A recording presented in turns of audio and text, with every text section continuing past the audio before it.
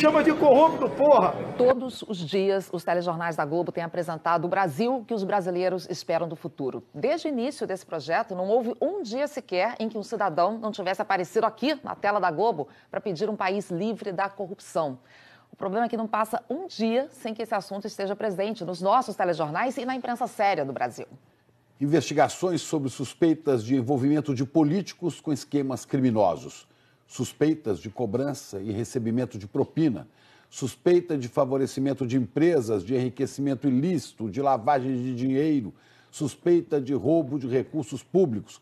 Em muitos desses casos, as suspeitas se consolidam em denúncias e, em outros tantos, as denúncias são acolhidas pela justiça.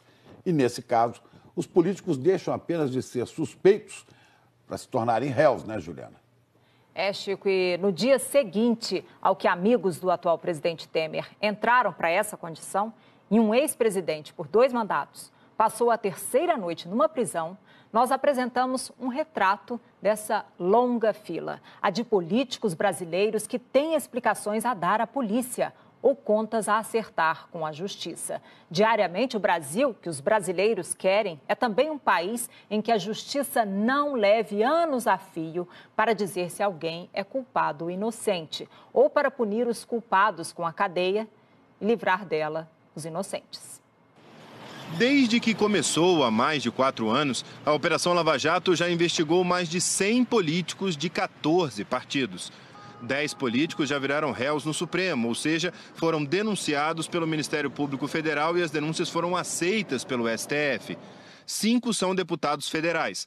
José Otávio Germano, Luiz Fernando Faria e Nelson Meurer, do Progressistas, Vander Loubé, do PT, Aníbal Gomes, do MDB, e cinco senadores, Romero Jucá e Valdir Raup, do MDB, Gleice Hoffmann, do PT, Agripino Maia, do Democratas e Fernando Collor de Mello, do PTC.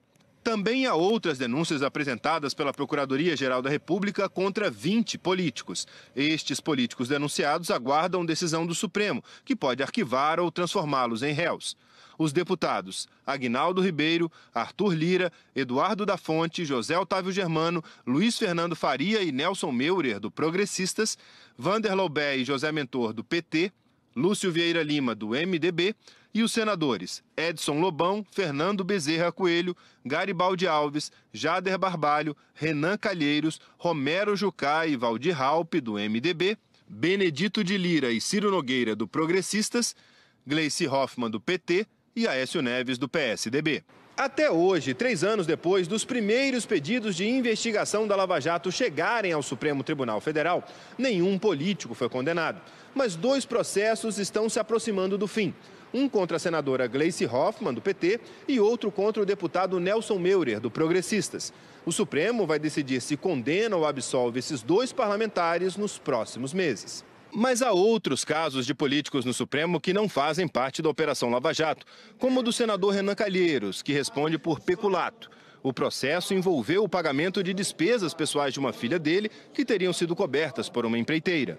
O deputado Paulo Maluf, do Progressistas, foi condenado pelo Supremo recentemente por desvio de verbas de uma obra feita em São Paulo durante a gestão dele como prefeito da cidade nos anos 1990. Ele chegou a ficar preso e agora está em prisão domiciliar.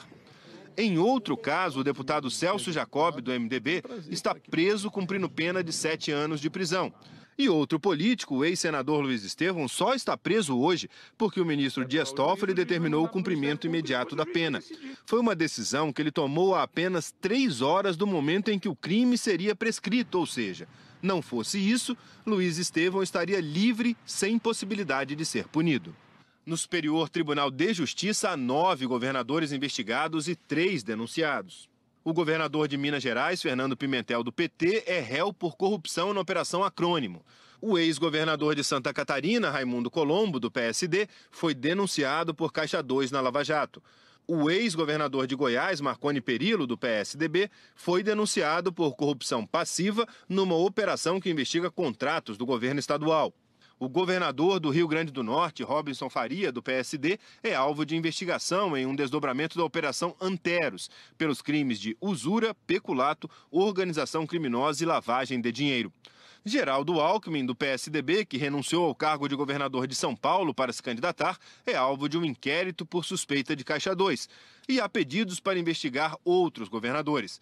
Além disso, o ex-ministro das Cidades, Mário Negromonte, do Progressistas, afastado do Tribunal de Contas da Bahia, é réu no STJ por suposto recebimento de propina numa acusação da Lava Jato. O presidente Michel Temer também é alvo de investigações, inquéritos e denúncias. Ele está sendo investigado no Supremo em dois inquéritos. Um que apura a suspeita de que um decreto assinado por ele beneficiou empresas que atuam no Porto de Santos e outro que tenta apurar o repasse de dinheiro da Odebrecht para integrantes do PMDB. Além disso, as duas denúncias que estão paradas por decisão da Câmara voltam a andar no dia 1 de janeiro, ao fim do mandato de Temer. E quando o político perde o foro privilegiado, o processo vai para a justiça de primeira instância. Em Brasília, vários políticos, como Eduardo Cunha e Gedel Vieira Lima, os dois do MDB, tiveram seus casos transferidos para a décima vara federal. Gedel foi preso depois que a PF descobriu mais de 50 milhões de reais em um apartamento em Salvador. Na Justiça Federal de Brasília, correm também outros processos contra o ex-presidente Lula, como o que investiga a compra de caças da Força Aérea e a suspeita de fazer tráfico de influência para ajudar a Odebrecht a conseguir uma obra em Angola. Em outros estados, a Lava Jato alcançou políticos sem foro privilegiado. É o caso do Paraná, como conta o repórter Marcelo Rocha. 11 políticos foram investigados no Paraná. Todos já são réus na Lava Jato. Um dos políticos investigados na Lava Jato em Curitiba virou delator. É Pedro Correia, ex-deputado federal pelo PP, que está em prisão domiciliar. Seis políticos cumprem prisão preventiva. Entre eles, quatro já foram condenados em segunda instância, mas ainda têm recursos pendentes. André Vargas, ex-deputado federal que era do PT, Luiz Argolo, ex-deputado federal que foi do PP e do Solidariedade, Gin Argelo, ex-senador que foi do PTB, e Eduardo Cunha, ex-deputado federal do MDB e ex-presidente da Câmara. Antônio Palocci, ex-deputado federal e ex-ministro que era do PT, foi condenado em primeira instância. Aguardam julgamento em liberdade. José Dirceu, ex-deputado federal e ex-ministro do PT. Dirceu espera o julgamento de recursos na segunda instância. Ele chegou a ser preso preventivamente, mas conseguiu um habeas corpus no Supremo Tribunal Federal. E Solange Almeida, ex-deputada federal pelo MDB. O processo dela está em andamento na primeira instância. Nesse processo, o ex-deputado Eduardo Cunha também é réu. Os processos contra políticos na Lava Jato do Paraná levaram, em média, seis meses e nove dias da denúncia até a condenação pelo juiz Sérgio Moro. Vamos agora saber como andam as ações contra políticos no Rio de Janeiro com o repórter Paulo Renato Soares. As investigações sobre corrupção no Rio chegaram aos principais palácios do poder e aos homens que, nas últimas duas décadas, comandaram o executivo e o legislativo do Estado. Todos políticos do MDB. Sérgio Cabral, o ex-governador do Rio por dois mandatos, é considerado o chefe de uma organização criminosa pelo Ministério Público Federal. Cabral é réu em 22 processos da Lava Jato na Justiça Federal. Foi condenado em cinco na primeira instância por crimes como corrupção, lavagem de dinheiro e evasão de divisas. As penas somadas chegam a 100 anos de cadeia. Ele está preso há um ano e meio. Em janeiro, foi transferido para Curitiba por causa de denúncias de regalias no presídio do Rio. Um dos maiores aliados dele também é réu na Lava Jato. Jorge Pisciani, do MDB, foi seis vezes presidente da Assembleia Legislativa. Pisciani, Paulo Melo e Edson Albertassi são acusados de corrupção, lavagem de dinheiro e organização criminosa. Como todos são deputados estaduais, o processo está no Tribunal Regional Federal da Segunda Região. Pisciani foi preso em novembro de 2017, mas saiu da cadeia no mês passado depois que conseguiu um habeas corpus no Supremo Tribunal Federal. Ele está em prisão domiciliar. Os outros dois deputados, Paulo Melo e Edson Albertassi, estão presos na cadeia de Benfica, na zona norte do Rio.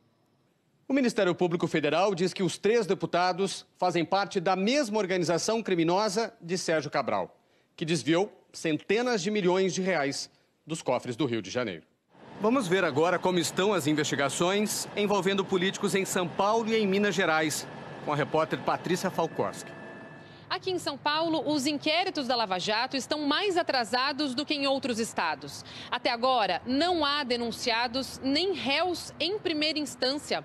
Só em relação às delações da Odebrecht, vieram 41 pedidos de investigação para cá no ano passado. Mas o andamento é lento. Aqueles que investigam pessoas sem foro privilegiado estão nas justiças federal e estadual.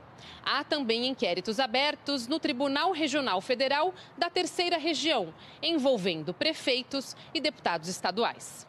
O ex-diretor da DERSA, a empresa paulista de infraestrutura rodoviária, Paulo Vieira de Souza, foi citado por delatores da Odebrecht. Eles disseram que um consórcio de empresas manipulou a concorrência do Rodonel Sul e o repasse para as campanhas eleitorais do PSDB teria sido feito por meio da DERSA. O inquérito que investiga essas denúncias está no Supremo Tribunal Federal, porque envolve o senador José Serra e o ministro das Relações Exteriores, Aloísio Nunes, ambos do PSDB, com foro privilegiado. Paulo Vieira de Souza está preso desde sexta-feira passada por causa de um outro inquérito em que é acusado de desviar 7 milhões e 700 mil reais. Já o ex-governador de Minas Gerais, Eduardo Azeredo, do PSDB, está livre da cadeia graças a vários recursos.